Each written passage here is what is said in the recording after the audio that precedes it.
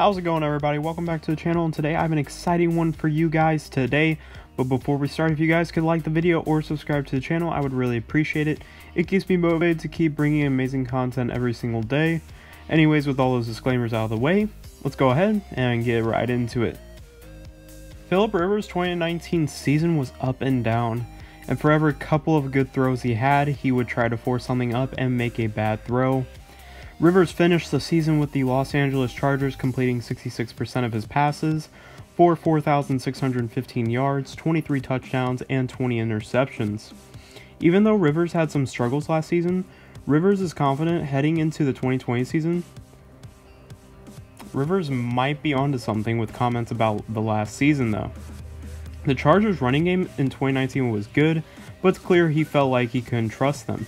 Late in games, he thought he needed to be a hero, instead of just making the easy throws that were there. The Colts have one of the most talented running back rooms in the NFL, and it's something that Rivers is going to lean on heavily.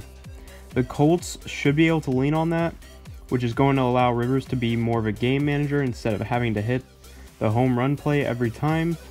It might take a while for Rivers to adjust to the new play style because he's always been a bit of a gunslinger, obviously.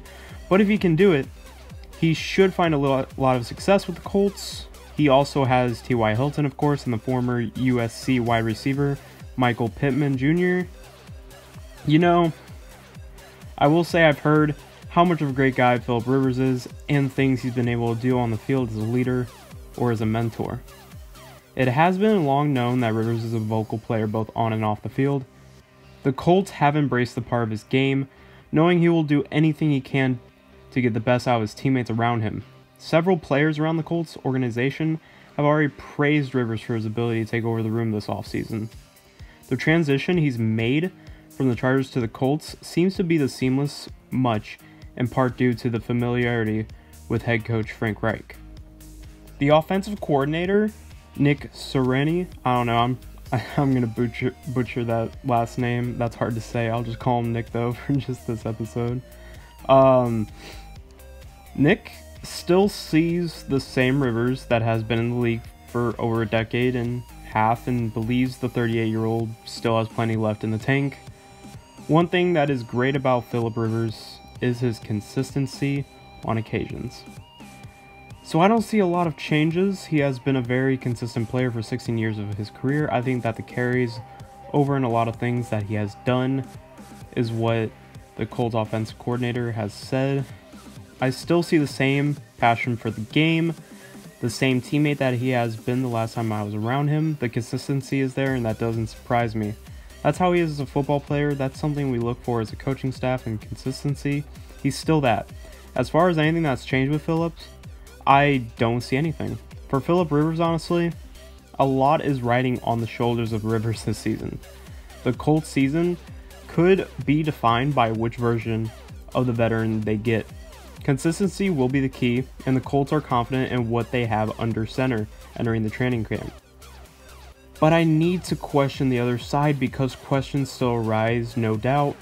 Before we knew quarterback Andrew Luck was going to retire last preseason, Reich firmly said, stated his belief that Jacoby Brissett was a top 20 NFL quarterback. He meant it as a compliment and a vote of confidence, but to succeed in this league, it's kind of important to be a top 20 quarterback. Seth fit that description. The Colts were 5 and 2. When he didn't, the lacking of vision in addition to being affected by too many injuries to key players, it wasn't obviously all of Brissett's fault, but the Colts lost 7 of 9 to finish the season. More than two decades of listening to coach speak inherently reminds to rarely accept an assessment at 100%, except that's what the coach believes and keep a wonderful and a watchful eye to see if it's true. For what it's worth, Reich has the steady, understated, confident makings of a solid NFL head coach. He's probably better than top 20 at his job. And yes, that's intended as a compliment. I mean, another thing is that the Chargers were coming off a season opening overtime home win over the Colts, but trailed 13 and 10 in the final minutes at Detroit in week 2 last year. They were in field goal range, but looking at a third and 19 play at the Lions 28. The smart play is to throw underneath, or go with something that reduces the length of the potential game tying field goal. But Rivers, the gunslinger, takes a shot deep to the well covered Keenan Allen. Lions cornerback at the time, Darius Slay, is properly positioned with a safety closing top and makes the interception. Game over. There are often moments where you say or think to yourself, you can't make that play in that situation. Yeah, Rivers just can't make that mistake then. I mean, watch it for yourself. Just one bad play, someone could say, but, but Rivers made the same kind of mistake at least three other times to sacrifice points last season. This is what worries me. His underthrown pass to running back Austin Ekeler in the end zone with just a little more than one minute to play in, week 11 obviously was a head scratcher. That fourth interception ended a 24 17 home loss to Kansas City.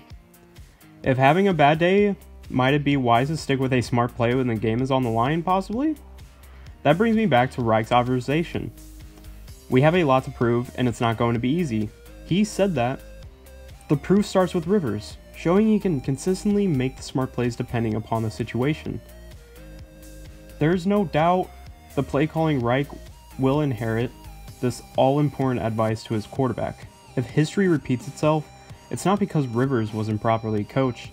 He's 38, been to 8 Pro Bowls, and his 59,271 passing yards and 397 touchdown passes each rank 6th in NFL history. Rivers knows better and shouldn't need to be told. I hope the negative side here isn't true, but in the back of my head I just worry about it. Hopefully Rivers proves people wrong and I hope he can succeed. I believe Rivers now being on the Colts will finally tell us whether or not what kind of quarterback Rivers has been. Was it really the Chargers' fault? Or was it Philip Rivers? Who knows? Leave in the comments below what you guys think. I'm very interested in what you guys think about that, but it's just a question I have. Was it the Chargers or Philip Rivers? Like who who is to blame? I I don't know, but I think we'll find out, no doubt. But with all that said, I hope you all enjoyed the video, and I hope you all have a nice day. Peace.